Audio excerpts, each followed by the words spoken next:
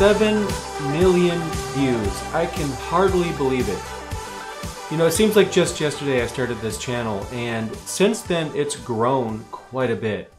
The video quality has actually changed quite a bit as well. I remember recording my very first videos on a Latitude Dell D630 laptop, which was pretty old, still a good machine, with just a mic jack microphone that probably cost me $15. The audio quality was terrible. The video quality was terrible. I didn't even edit any videos. And then over time, you know, I gradually learned how to do things and I'm still learning now. And now I'm up to 7 million views. So I just wanted to thank you guys because this is awesome. And you might be wondering, you know, what's up with 7 million? Why not celebrate 10 million? Oh, believe me, I'll definitely celebrate 10 million. But I haven't been doing a good job of keeping up with analytics. I just like recording videos and sometimes I just don't like paying attention to all the small trivial analytics details. I just want to hit the record button and start talking basically. So I missed quite a few special occasions over the years that just totally passed me by. By the time I realized all these milestones that I've hit, it was too late. And then, you know, basically it was too late to make a video and celebrate it. But um, I wanted to make sure that I did celebrate this one. And, you know, I'm going to keep doing this on the road to 10 million views, which is where, you know, I'm hoping to reach here pretty soon. But another thing, you know, when, when it comes to the number seven and 7 million, I mean, Final Fantasy VII was the second best Final Fantasy game, so, you know, if nothing else, there's that. So, in all seriousness, though, thank you guys very much. I really appreciate everything. Thank you for watching, subscribing, and being a part of this with me because I never thought that it would actually grow to 7 million. And I'm even approaching 60,000 subscribers, which is also a pretty big milestone that I think I'm going to hit pretty soon if I haven't hit it already. Also, guys, I just wanted to mention, please excuse the dust. I am trying to get the best video and audio quality that I can in the new studio. And I'm having a heck of a time getting everything perfect. The video quality isn't where I want it. The audio quality isn't where I want it. The lighting is terrible. I'm using a very cheap light. So please bear with me and give me your comments below and let me know what you think so far, keeping in mind it's still a work in progress there's still stuff that I need to order to basically make the video quality and audio quality the best it can be. And then when I get everything done, I do plan on making a video showing you guys my studio. So that will come here pretty soon. Now with that out of the way, I have in front of me the System 76 Gazelle because quite often I'm asked, you know, what laptop are you using? And I'm probably using a different laptop in every video, it seems. I actually have four, five, at least five laptops in the house right now, not including this one. But System 76 was nice enough to let me borrow this one to do a review. And I actually have to send it back today. I've already recorded the footage for the review and I'm in the process of editing that. This video is going to be uploaded sooner because I want to upload this one closer to the milestone. And after I get this one uploaded, I'll edit the footage for that review, which you will see very soon. So if you want to know what I'm using, well, here's your answer. It's a System 76 Gazelle, a really awesome laptop. Stay tuned for the review. But with all that out of the way, I wanted to look into doing some feedback. I like to do this every now and then, just basically get some questions or comments that you guys leave in my YouTube channel among the various videos and just basically uh, give you guys my responses. So let's go ahead and do some quick Q&A and that'll wrap up the video. All right, here we go. We have Yukio Holix. I'm always probably going to be pronouncing these screen names wrong. Maybe some of them actually don't need to be pronounced. But basically they're saying, you know, when I try to create a USB stick, I click on any of the download mirrors and nothing happens. So by download mirrors, I'm assuming you're talking about Etcher, which is the video in question here. Um, some of these comments need to be a little bit more specific, but when I go here and download, it does work. So that's one of those things about creating YouTube content around technology. Technology is always changing. So for all I know, that website could have had a problem when he was trying to download that and maybe it, it, wasn't working then, but it's working now. And it's just one of those things when you create this kind of content that I constantly run into. So here we have WR3ND. Uh, this individual left me a comment about their Debian experience with Debian Stable. And I'm not going to read the entire thing, but I just want to say that I really like reading things like this. I did read this comment, and I do enjoy hearing you guys uh, tell me your feedback when you use a distribution so I could find out what the experience was like for you. That was awesome. So this same person mentions, you know, can't you just update Debian with backports? And I, I think they might be referring to my comment about separating user apps from system packages. And there's two problems with Debian backports that I have with it. So first of all, I want to mention Debian backports is pretty cool because the Debian developers, they don't even have to do, to do that in the first place to make that available. And the fact that they do, uh, they need to be thanked for that because it's pretty cool. But on the downside, Debian backports is very inconsistent. When Debian backports launches, it barely has any packages in it, but that could be understood because they're just getting it going with each new release of Debian. But we never know what we're going to get. Uh, maybe we'll get a new kernel Maybe we'll get a new kernel later. I've seen new kernels come in right away. And I've seen some, you know, not show up for a year. So you just really can't rely on Debian backports. It's not a very good solution. You're not even going to get the latest Firefox, and maybe it's there now, but last time I checked, it wasn't. So um, it's very hit or miss when it comes to what packages in particular it may or may not include. But that goes against my point, though. User space applications, when I say user space applications, I'm referring to Firefox, LibreOffice, your text editors, things like that. I don't think that those packages should be found in the same um, method that your operating system or distribution packages are basically installed from. So in the case of Debian, I'll use that as an example um, you know, you can have your updates like your kernels and um, your libraries and things like that all happen via apt and Debian packages. I don't really think that should ever change. That should always stay this stay the case because it's awesome and it's a good way to do it. But when it comes to user space applications like Firefox and LibreOffice, I think that those types of applications should be in their own completely separate system for managing packages because I think that those two types of things should be separated.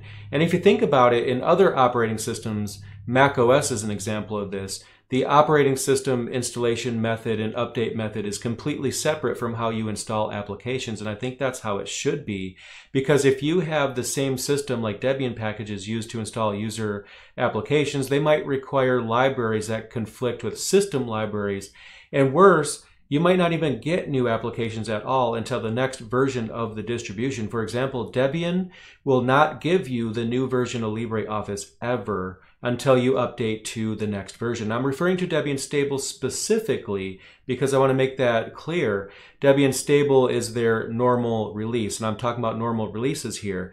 And that's an important distinction that you don't get the new applications until your entire operating system goes to the next version. And that to me is just plain silly. So in Debian 11, you'll get the new version of LibreOffice at that time, but you'll be stuck with what you have now until then if you don't use any other method to install applications. And I just don't really feel like that's a good idea. Most people don't want to be locked into the same application, or at the very least, they might want to selectively update one. Maybe they don't want the latest bleeding edge software, but maybe they do want the latest LibreOffice or the latest Firefox, and maybe those things will be included in Debian backports, but we don't know. And I still think that they should be outside of even Debian backports. I use a completely different system on my end. I use app images. So I'm going to go ahead and show you that real quick. So using LibreOffice as an example, I'm just going to Google LibreOffice app image. And I'll go ahead and click here and let's go ahead and download it and I'll show you guys what this is. So I'll download fresh. I'll just do the basic edition. There's other editions here, but that's not the point. So I'll go ahead and download this. Go ahead and save it. All right, looks like that's about done. Now, I actually don't have LibreOffice installed on this laptop because my scripts actually remove it because I prefer to use the app image version. But what I'm going to do is open up a terminal and I'm going to go into the downloads directory. Do ls and we see LibreOffice is right there. So I'm just going to go ahead and chmod that. And you could do this through the GUI as well. I'm just a terminal person. And then I'm going to go ahead and open that up. And we have LibreOffice. I didn't even need to open the package manager at all. And if I go to help and then I go to about, we can see that I am on literally the absolute latest version, and that's how I can get it without actually having to add a PPA, a different repository, or anything like that. This is my preferred method, but there's other methods. There's other ways of getting the latest software. So basically, just use whatever method works best for you. But I think that's what that person was commenting on, was my comment about the repositories not always having the greatest or latest software. So that's just something to keep in mind. Debian Stable is a great distribution, don't get me wrong. It's just not for everyone, but it is solid and it is recommended. But you know, when it comes to managing your applications, if the underlying distribution locks you to old versions, then you just have to take matters into your own hands.